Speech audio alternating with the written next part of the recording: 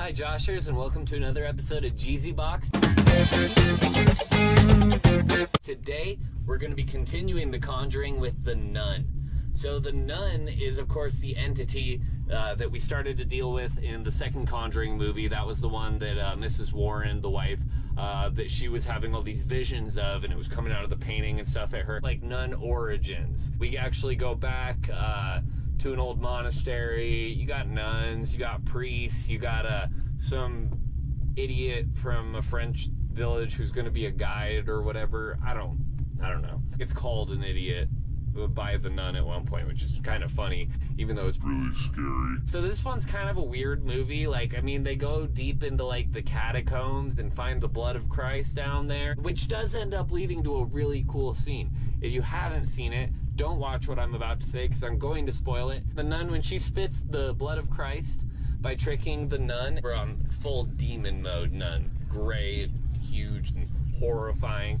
And uh, picks her up in the water and thinks that it has gotten the blood of Christ away from her, uh, still contained within this little glass thing that they find it, uh, find it in the girl had uh, she had used her head and she drank the blood. Well, not drank the blood. She kept the blood in her mouth and then spit it out onto the nun. You know, no nun can handle, no demon can handle uh, demon blood, or and of course, no demon can handle uh, Jesus Christ's blood being spat into their face. Makes sense. Like that makes sense. It's a pretty, it's a pretty good one. I like this one because I like the, uh, I like the uh, monastery side of it. I like the nuns and the, which is different because even though in uh, Annabelle, when watched the Annabelle movies, I did not like the nun thing. It, it wasn't because of the nun. The nun wasn't the issue. I just didn't like watching a little girl die in the first three minutes of the movie, and then just the rest of the movie is me just worrying that the, uh, orphan girls are gonna die. That's not fun for anybody. In the nun,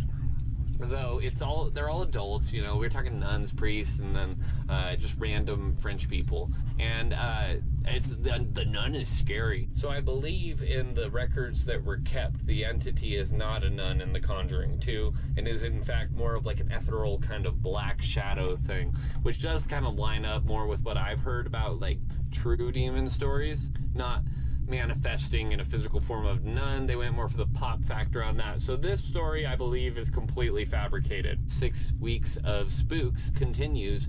Uh, Spooky Box is going to go into Insidious and those movies, which are, you know, of course, spearheaded by James Wan. So The Nun, I would give it a watch. I thought I thought it was pretty it was pretty enjoyable. It's got its cheese factor here and there, uh, but it's that's pretty good as far as modern horror movies go. There's not there's nothing like terrible in it. Um, it's not super gory, I wouldn't say. Uh, but yeah, it's, it's a good watch. Why dress like you when you can wear me? Thank you.